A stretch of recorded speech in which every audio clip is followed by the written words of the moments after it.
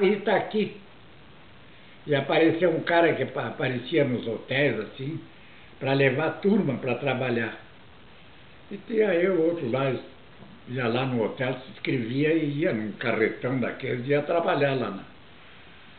Eu fui.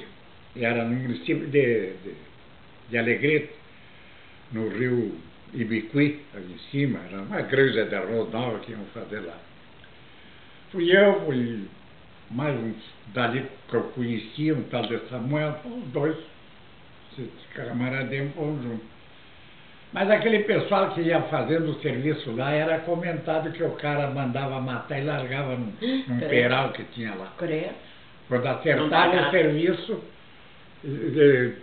matavam e largavam naquele peral. Creio. E no fim todo mundo foi embora, fiquei eu e Samuel Bah.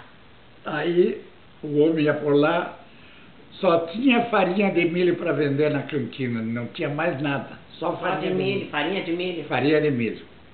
A gente ia lá, pegava farinha de milho, dinheiro, dizia que não tinha para pagar, coisa mais. Se nós aguardássemos que ia nós pagar e nós só recebemos, recebemos ah. nós matar. Mas aí é, conseguimos um pedaço de charque. Ah. Aí era farinha de milho com charque, a gente comia. E peixe.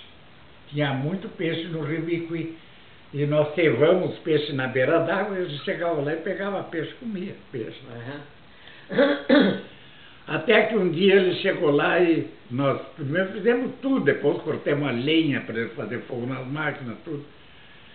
E ele disse para nós, olha, eu vendi uns bois, vou pagar vocês, vocês vão lá receber o dinheiro de vocês. Aí um olhou para o outro, é dessa vez, né? Nós fomos lá receber, era longe, nós morava no mato. E a casa era lá em cima, no meio da coxilha lá. Fomos lá, nós pagou tudo.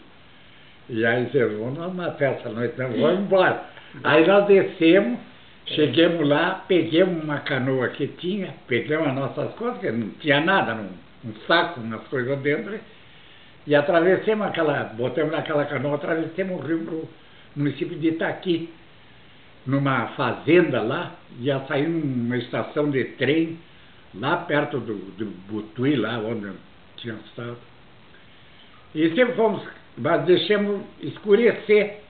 Quando escureceu, nós atravessamos o rio e fomos embora. Não sei até hoje o que, que aconteceu, se procuraram ou não procuraram, mas eu e o Samuel se, se mandamos, nunca mais.